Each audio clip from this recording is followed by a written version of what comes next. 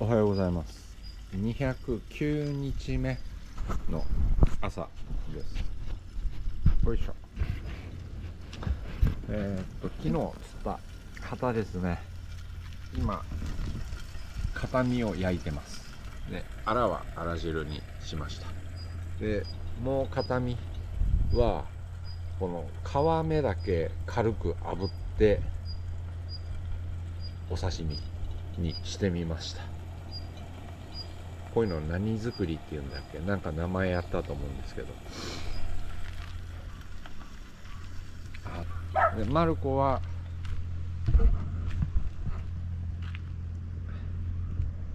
食べてないぞ。食べろ食べろ。ご飯もかけました。ごま油で炒めた。でお刺身とあら汁。でいただきますではではいただきましょうかね。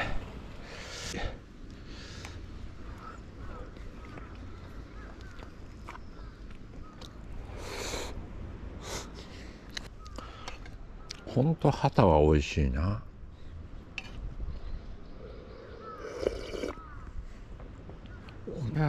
ごちそうさまでしたさて。カヤックの穴が入ってくる原因をなんとか今日は。あーでもこれこの中に入ってる小い小石の粒もなんかこれ嫌だな。この粒々感分かります？これも良くない。一回中も掃除っていうか石出そう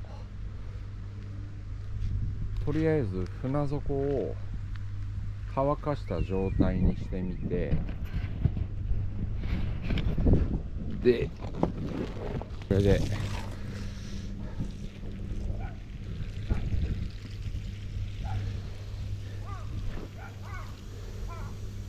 入れていけば。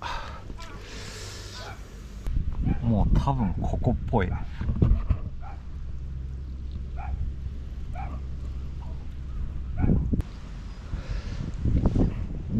から入ってるって可能性が結構あるのかもしれないです。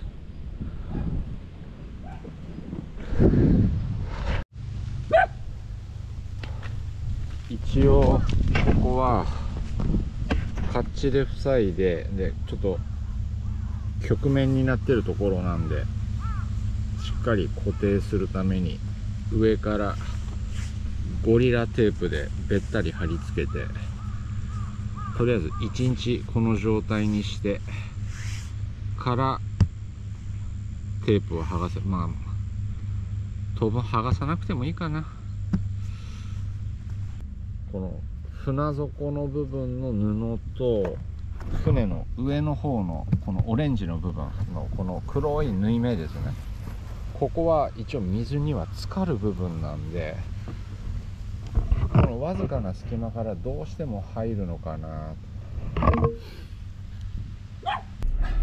カヤックの補修は一応怪しいところ2箇所にパッチを貼ってまああとはもういいな。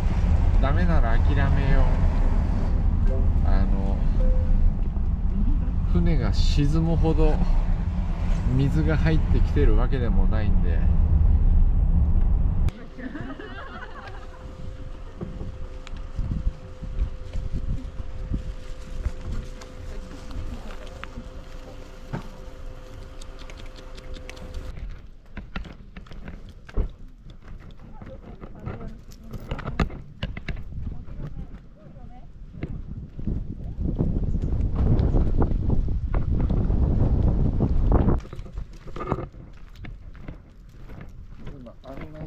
たら。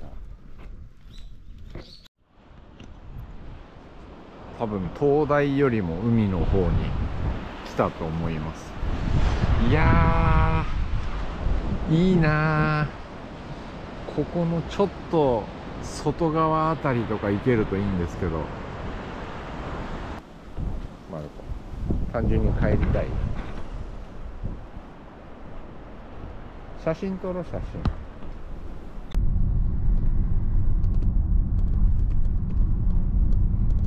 ちょっと悩むんですけど明日最高気温が12度かなり冷え込むみたいでで明後日からまた最高気温が18度とか20度近くにまで戻るらしくなんで川下りは明後日からスタートしようかなおはようございます。210日目210日目の朝です。さっきおはようって挨拶をしたら寝袋の中に一番奥まで行っちゃった。起きる？マルコ起きる？トイレ行きたくない？引きこもった引きこもった午前中は雨も降っててもうひたすら動画を作ったりして過ごしてました。っていうか動画作ってもあんまりそんなに作業って1本作るのに多分30分ぐらいかかっちゃってるんで。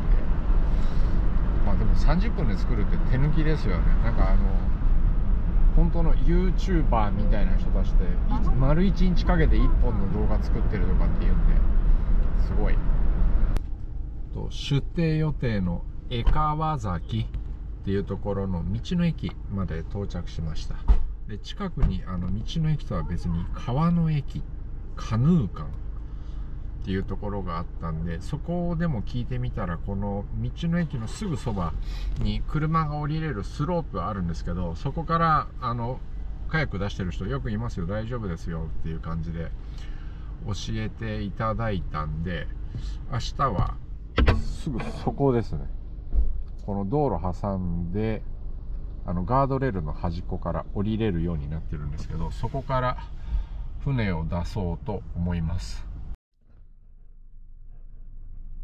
今日はご飯もうめんどくさいので一応この辺にはあのコンビニは全くないんですけれどもこっから100メートル程度かな？ってところにおそらくこの地域唯一っていうスーパーがあるのでそこで晩ご飯売ってるかな？お惣菜。